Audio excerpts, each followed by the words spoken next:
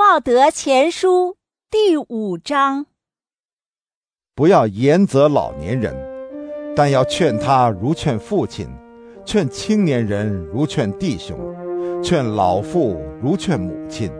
以完全纯洁的心，劝青年女子如劝姊妹。要敬重寡妇，及那些真正做寡妇的。假使寡妇有儿子或孙子，他们就应先学着孝敬本家人，报答祖先，因为这是天主所喜悦的事。那真正做寡妇的，孤独无依，以寄望于天主，黑夜白日常在恳求和祈祷。但那任性纵欲的寡妇，虽生犹死。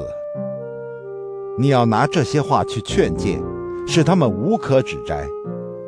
若有人不照顾自己的妻族，尤其不照顾自己的家人，即是背弃信德，比不信的人更坏。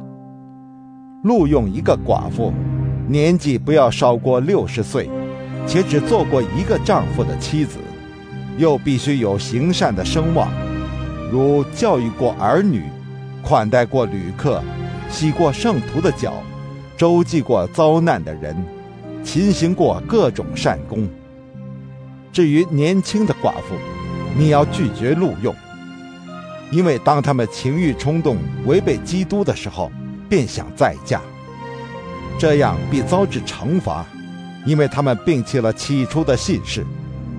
同时，他们又游手好闲，习惯串门踏户，不但游手好闲，而且还饶舌不休，好管闲事。说些不当说的话，所以我要年轻的寡妇在家生养儿女、治理家务，不给敌人以诽谤的任何借口。因为有些已转身随从了撒旦。若女信徒家中有寡妇，就应供养他们，不可加重教会的负担，为使教会能供养那些真正的寡妇，那些善于督导的长老。尤其那些出力讲道和施教的人，堪受加倍的敬奉。因为经上记载，牛在打肠的时候，不可拢住它的嘴。又说，工人自当有他的工资。反对长老的控告，除非有两三个证人，你不可受理。犯罪的人，你要在众人前加以斥责，为叫其余的人有所警惕。我在天主与基督耶稣，以及蒙选的天使前恳求你，要遵守这些话，不可存成见，做事也不可有偏心，不可轻易给人副手，不可在别人的罪上有份子，勿要守身清白。至于你，你以后不要单喝清水，为了你的胃病和你屡次生病，却要用点酒。